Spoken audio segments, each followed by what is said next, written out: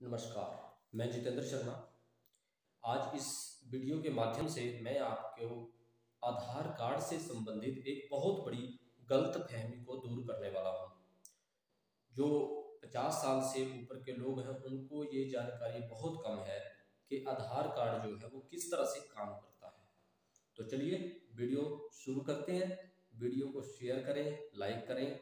अगर आपका कोई आधार कार्ड से संबंधित कोई प्रश्न है तो आप कमेंट ज़रूर करें वीडियो के नीचे, मैं उसका जवाब दूँगा आपको। चलिए वीडियो शुरू करते हैं। जब भी हमारे आधार कार्ड में जो नाम होता है, नाम फ़र्स्ट और लास्ट जैसे मेरा नाम है जितेंद्र शर्मा। अगर मेरे आधार कार्ड के ऊपर जितेंद्र शर्मा पूरा नाम लिखा हुआ है प्लस उसमें मेल फीमेल भी लिखा हुआ है और मेरी जो जन्म तिथि है, वो भी उसके ऊपर बिल्कुल करेक्ट लिखी हुई है पूरी। ठीक है? Twenty eight September nineteen eighty two जैसे किसी की भी है, किसी की भी हो सकती है। तो जैसे किसी की भी डेट ऑफ़ बर्थ है, अगर ये चीज़ें पूरी लिखी हुई हैं और बैक साइड में आधार कार्ड के पूरा एड्रेस लिखा हुआ है तो इट मीन्स आपका आधार कार्ड जो बिल्कुल करेक्ट है। अब होता क्या है कि जैसे फॉर एग्जांपल आप कभी राशन सोसाइटी में राशन लेने जाते हैं या कहीं कोई बैंक से या पोस्ट ऑफ़िस से पैसे निकलवाते हैं तो अगर आपके फिंगर वहाँ पे काम नहीं कर रहे हैं, अगर आपके फिंगर नहीं लगते हैं तो उसके लिए आप किसी आधार सेंटर में जाते हो और वहाँ पर जाके अपने फिंगर अपडेट करवा लेते हो, ताकि फिंगर लगाने में कोई दिक्कत ना आए।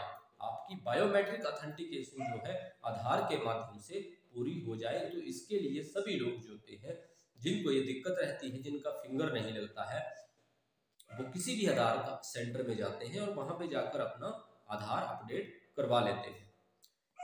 तो अब इस वीडियो को बनाने का मकसद क्या है? इसमें ऐसी कौन सी जानकारी मैं आपको देने वाला हूँ कि भाई, ये तो हमें भी पता है। हाँ तो अब बात यहीं से शुरू होती है। जब भी आप अपने फिंगर को आधार कार्ड में अपडेट करवाते हो और पहले से ही पहले से ही हमारा जो आधार कार्ड रहता है, उसमें डेट ऑफ़ बर्थ नाम एड्रेस सब कुछ जेंडर सब कुछ अवेलेबल है, सब बिल्कुल करेक्ट है, उसमें कोई दिक्कत नहीं है। तो कई बार क्या होता है कि लोग ये पूछते हैं कि जी, ये आधार कार्ड हमने फिंगर अपडेट करवाए हैं इसमें तो इसको अब हमें प्रिंट करवाना है। तो आप इसको प्रिंट कर दीजिए। तो सबसे पहली बात तो ये है कि जो आधार कार्ड होता है वो मात्र एक कागज़ का टुकड़ा होता है। उसके अंदर कोई चिप नहीं लगी हुई है या हाँ जो पीवीसी कार्ड आ रहा है आजकल नया, उसमें चिप लगी होती है। बाकी मात्र ऑलमोस्ट जो है, वो एक कागज़ का ही टुकड़ा होता है उस पर सिर्फ़ प्रिंट किया जाता है, उस इंफॉर्मेशन को प्रिंट किया जाता है। जो आधार का जो एक नंबर होता है, वो जो यूडीआई है यूडीआई का जो डेटाबेस है, जो इसको ऑपरेट करता है, वहाँ पे आपके फिंगर आपकी जो आँखें स्कैन होती हैं, ठीक है, और आपके जो फिंगर के जो निशान होते हैं, वो यूडीआई के पास डेटाबेस में अवेलेबल रहते हैं। जब भी आप किसी राशन जब भी आप राशन लेने जाते हो और राशन की दुकान पे जब आप बायोमेट्रिक मशीन के ऊपर अपने फिंगर लगाते हो और अगर वहाँ पे आपके फिंगर नहीं लग रहे हैं तो आप बार बार अपने आधार कार्ड को देखते हैं कि यार इसमें क्या चीज़ नहीं है।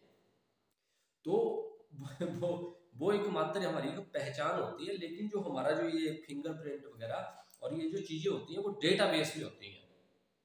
तो उस कंडीशन में अगर हमारा आधार कार्ड बिल्कुल करेक्ट है, उसमें नाम लिखा हुआ है डेट ऑफ़ बर्थ पूरी है एड्रेस पूरा है तो हमें अगर हमने फिंगरप्रिंट को अपडेट करवाया है तो हमें दोबारा से आधार को प्रिंट करवाने की ज़रूरत नहीं होती है। वही आधार कार्ड ठीक है।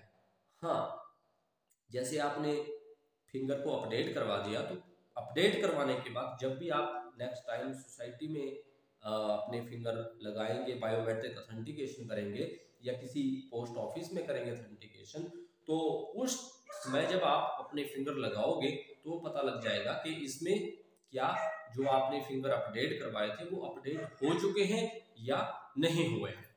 तो ये जानकारी थी, इसको आप दूसरों के साथ भी साझा करें। तो ये बहुत बड़ी, क्योंकि हमारे पास यहाँ पे सी सेंटर के ऊपर जो हमारा कॉमन सर्विस सेंटर है, वहाँ पर लोग आते रहते हैं कि हमने इसमें फिंगर अपडेट करवाए हैं। तो आप इसका प्रिंट निकाल दीजिए। तो ये फिर मैं उनके आधार कार्ड को चेक करता हूँ। तो मैंने, मैं उनको बताया कि ऐसे ऐसे आपका तो आधार कार्ड जो है वो बिल्कुल करेक्ट है। इसमें तो कोई, इसको निकालने की ज़रूरत ही नहीं है। अगर आपने अपने फिंगर अपडेट करवाए हैं तो वो ठीक है, वो अपडेट हो चुकी है इसके अंदर। तो आप जो है वो नेक्स्ट टाइम जब भी आप सोसाइटी में या पोस्ट ऑफ़िस में जाएँगे तो वहाँ पे जाके आप अपना जब फिंगर लगाओगे अथेंटिकेशन करोगे बायोमेट्रिक अथेंटिकेशन दैट टाइम आपको पता लग जाएगा कि हाँ आपके जो फिंगर है वो अपडेट हो।